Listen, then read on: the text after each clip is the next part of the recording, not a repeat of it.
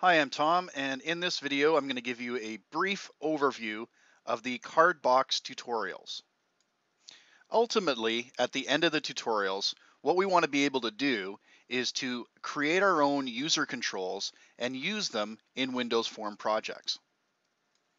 To do that, we're going to design and use a uh, user control called CardBox, which displays a playing card on a Windows form. We're going to start the tutorial by reviewing my class library, which supports playing cards. So similar to the tutorials that you've been doing so far, my class library has enumerations for the card rank and suit. It has a playing card class, as well as a couple of other class, a deck class, uh, there's a dealer class which represents a uh, like a casino shoe. There's also a hand class, but we'll we'll get into that in that tutorial. Um, part of what we're going to do when we're reviewing that is I'm going to talk a little bit about how to use image resources. So we'll add add image resources to your project, and I'll show you how to access them in your code. Then we'll move on to actually designing and implementing our user control. We'll design the control, we'll add some control properties, and then we'll add some event handler to the control as well.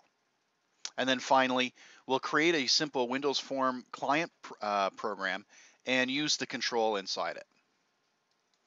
So why would I want to create a user control in the first place? And uh, why would I want to create a class library? The simple reason for this is that I'm lazy. Uh, I'm going to create a number of applications which are dealing with uh, playing cards, and rather than reinvent the wheel each time in each application on how a playing card is represented, it's going to be a lot more convenient for me uh, to have a class library that defines it one way, and I simply reuse it in other applications. So this is a simple little application that I created, created very quickly um, that utilizes playing cards. So we can see here it's uh, the game of war.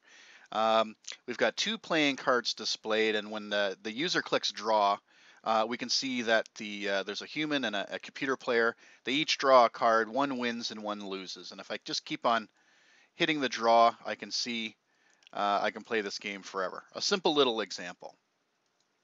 I utilize the very same type of types of cards uh, in my blackjack simulator program, another um, probably a little more sophisticated uh, program that, but I created it fairly quickly.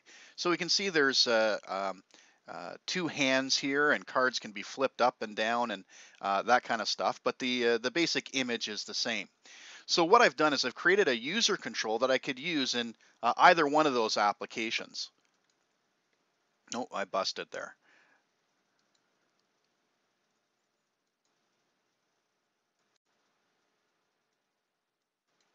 So the basic idea is to create a library that can represent some generic stuff for a, uh, a card game. And then uh, simply, I can create as many card games as I want, similar to what you have to do in your final project creating uh, Durak. The basic concept of uh, where we're going to is to create this control which displays an appropriate image uh, based on a suit and a rank, um, has the ability to turn the card uh, uh, face up or face down. Um, I want to be able to convert the card into a string uh, using the toString method, which overrides system object.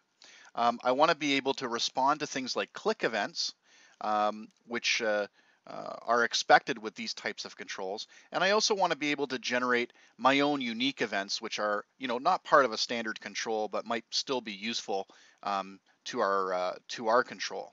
In this case, it's I want to have a, an event that happens, uh, fires off when the card is uh, flipped over. So a lot of the stuff in the tutorials that I talk about is uh, explained in detail in the course textbook, which is uh, Beginning Visual C Sharp 2012 Programming. Um, also, uh, there's a, a, few little bits and pieces that I talk about that's uh, not immediately found in the chapters that we uh, cover. Um, so I also use the uh, uh, MSDN uh, Framework Class Library, which you can access as well.